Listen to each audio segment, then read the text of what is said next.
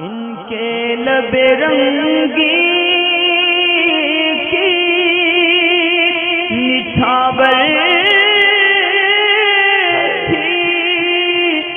जिसने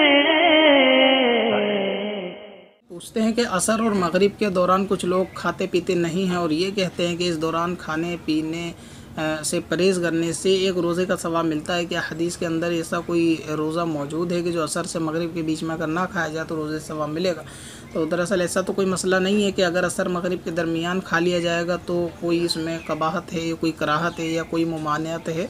और अगर असर मगरिब से बीच में नहीं खाया जाएगा तो ऐसा भी नहीं कि किसी रोज़े का सवाब मिलेगा। दरअसल बात यह है कि सूफ़ी अकराम के अंदर ये चीज़ मशहूर थी कि बाद सूफ़ी अकराम असर और मगरिब के दरमियान कुछ खाते पीते नहीं थे और ये उनका एक अपना अंदाज़ था और ये अल्लाह का एक अपना तरीक़ेकार था कि वो असर मगरब के दौरान नहीं खाते थे तो उस तरगीब को लेकर जो उनके आसपास रहने वाले, उनके मुरीदीन और मुहिबीन थे, वो इस चीज़ को देखकर उनकी नकल की कोशिश करते थे कि असर मगरब के दरमियान वो भी कुछ नहीं खाते थे।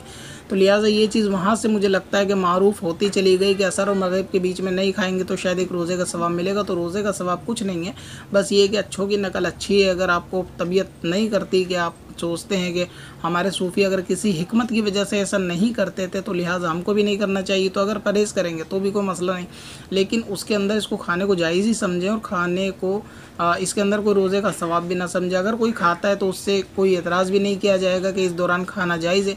और अगर कोई नहीं खाता तो उससे ये पूछा जाएगा कि अगर वो इस नस्बत से नहीं खा रहा कि इस दिन, इस टाइम खाना नहीं चाहिए कि रोज़ा टूट जाएगा या रोज़े का सवाब में कमी आएगी तो फिर उस शख्स को इस गलत अकीदे से सही अकीदे की तरफ़ लाया जाएगा। मगर ये कि अगर नहीं कोई खाता तो इसमें कोई ख़राबी नहीं है।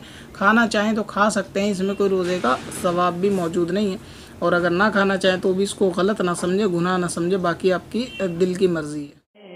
पत्थर में हसन लाले पुरनवार। पुरन